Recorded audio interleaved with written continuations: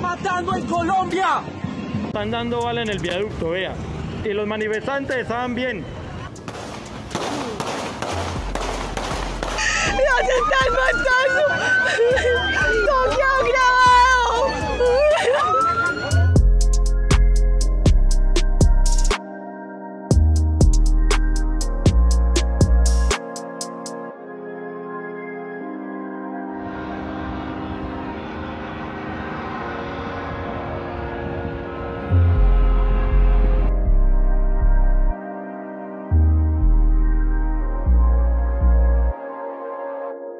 Vamos a convocar a todos los gremios de la ciudad y a los miembros de la seguridad privada para hacer un frente común junto a la policía y el ejército para recuperar el orden en la seguridad ciudadana.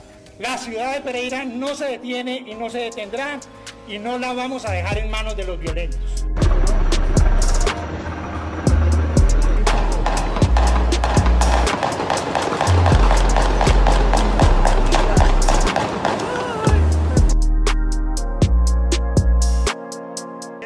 Pesos por la colaboración efectiva para la identificación y captura de los autores de actos vandálicos y delitos que se han presentado en los últimos días contra la infra infraestructura pública. Y se publicará por parte de la Policía Nacional el cartel de los más buscados por estos delitos en distintas ciudades.